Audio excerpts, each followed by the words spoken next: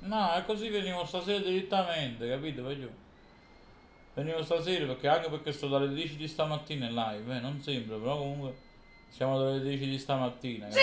Mannaggia Gesù Cristo, mannaggia. Jessica! Ya, ha fatto, eh? Ah, che... L'hai chiamato tu?